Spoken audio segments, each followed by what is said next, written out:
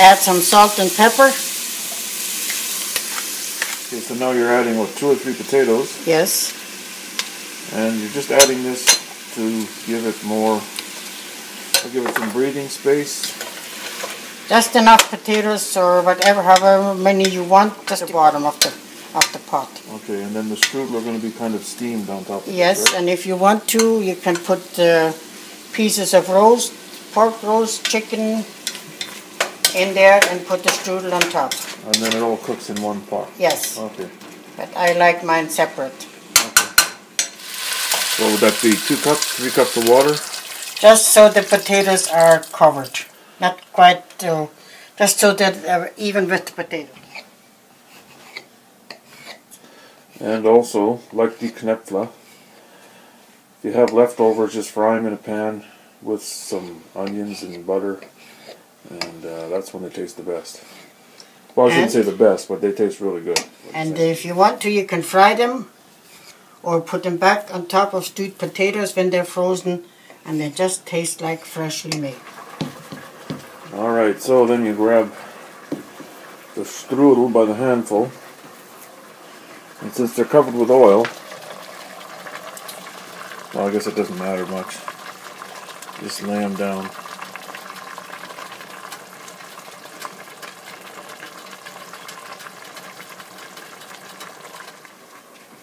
So how thick can you lay these? Well, as thick as you want, but uh, if they're if they're too many, just put a little oil in between so they don't stick too bad together. And then this will take how long to cook? Oh, about uh, at medium heat, about uh, 20 to 30 minutes, That long? or until you can hear the crackling on the bottom of the pot. So, but don't burn the potatoes. All right, so this is Mom's last handful. And put a little oil on top. Just crisscross them.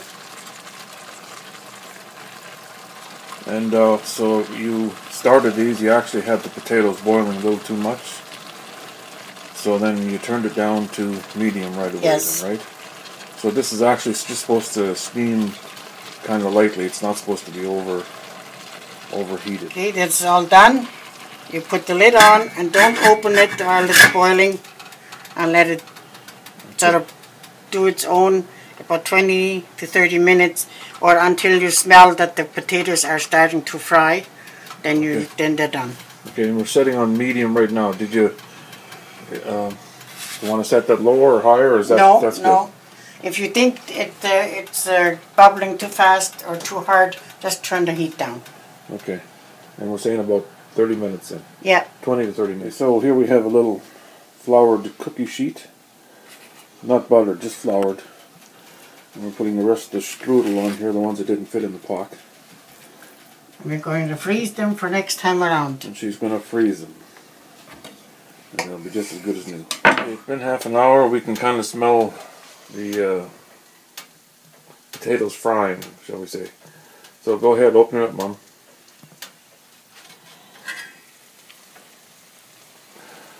And uh, I don't know, it wasn't much different before, but yeah, we can hear the sizzling. And so, would you say that's done, Mom? Yeah, I think so. Your strudel are done.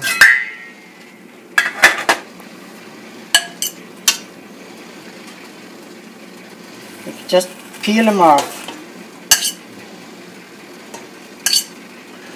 And this was a recipe they had for any special occasion, or was this just general? Just for general meals Okay. So when you take it out, it's actually kind of in layers. it's in layers, and it's Yes. it's actually I guess dry. Would you say on the outside, so it uh, comes apart Yes. nicely. That's why you put oil in between and oil on top if there's too many. Okay, just take a picture of the potatoes. That's. And uh, did you burn the potatoes? Yes. Oh, jeez. No, they're just nice and crispy. Okay. So there's the potatoes and uh, stuff in the bottom, and there's the strudel, and then we what make some gravy. Make gravy with uh, chicken and gravy or roast beef or roast pork. You have to have lots of gravy with uh, vegetables on the side, especially uh, cabbage And and sauerkraut. and uh, Sauerkraut. No, pickles. Pickles. Why pickles? Or you can have sauerkraut too. Pickles taste good with this.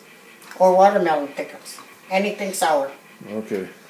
And then you get good and fat like like, Like a good old like, German. Like a good German, yeah. Yes. Like the whole friggin' family. Don't say that. Okay.